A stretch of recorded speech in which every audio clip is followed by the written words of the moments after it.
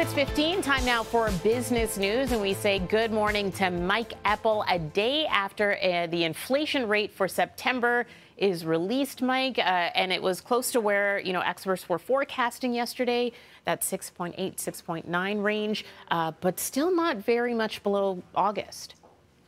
No, and that's the biggest problem here. Good morning, Tammie. And the other issue is, yeah, we look at the headline rate, which is still, look, let's face it, 6.9% is still elevated, even though it was down for a third month in a row. The problem here um, that we all feel when we go to the grocery store is the fact that food prices are way up. And that was borne out in the statistics that showed grocery prices have jumped the most year to year since 1981, with uh, uh, grocery costs up by 11.4% from September a year ago. And and, then, and that's a basket of items, right? It's it's it's you know not necessarily including if if you want to spend more and can afford to do so on higher priced groceries, those have gone up even more percentage wise. So the cost of just putting food on the table has gotten uh, very challenging. Let's face it, and it is not expected to slow down anytime soon. The uh, other issue with all of this, of course, is what the Bank of Canada is going to do a week from yesterday, next Wednesday, uh, for mortgage or interest rates, borrowing costs, because the inflation rate is still way above where it needs to be, or they want it to be, which is around two to three percent. Um, they're going to raise rates by likely another 75 basis points.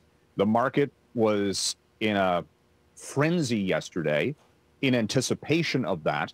We saw the bond yields where the banks set their mortgage rates.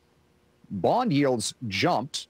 I, have actually, it's never seen a yield go up in a single day as much as we did yesterday on the five year bond. It was up 21 basis points. Doesn't sound like a lot, but that's a quarter percent, and it's now at the highest level interest rate in 15 years. And the market's pricing in a prime lending rate north of 6% now. So that, you know, that, that just adjusts variable rates, HELOCs, uh, five-year mortgage rates will be going up. Next time you open your bank statement, if you've got a mortgage, it's going to see some uh, much higher numbers.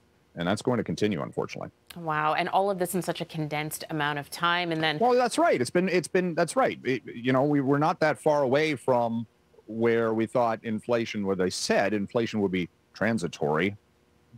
Live, never live that down, and now here we are, uh, less than a year later. Uh, we know we saw gas prices um, going down, but that's for gas in particular. When it mm-hmm. comes to diesel, not so much the case. And that, again, can trickle down to delivery and transportation costs. Well, that was another takeaway, actually, from the inflation data that they said, well, gas prices have moderated from where they were in the summertime, and that's kept the headline inflation rate down. The problem is it's not just gas, it's diesel prices, which I, I filled up yesterday, just uh, regular gas, and I noticed the price uh, for diesel at $2.30 a liter. That has not come down very much at all. And actually got some responses just uh, uh, from various people in the trucking industry yesterday on the on the inflation rate. And they said, look, our cost to fill up the big rig is astronomically expensive. Well, where does that go? That comes back to the delivery process and the base price for food. Uh, so that, you know, and we're already seeing, hearing anecdotally that um, shipments are starting to slow down uh, from the trucking industry specifically, and that indicates a slowdown in retail spending for consumers. It's all kind of intertwined here, but uh, we should not dismiss certainly the transportation cost and effect of uh, rising energy prices. All right. All right, Mike. We're going to have to end it there. We're unfortunately out of time, but thank you so much. Right. Uh, we'll chat with you tomorrow. Thank you.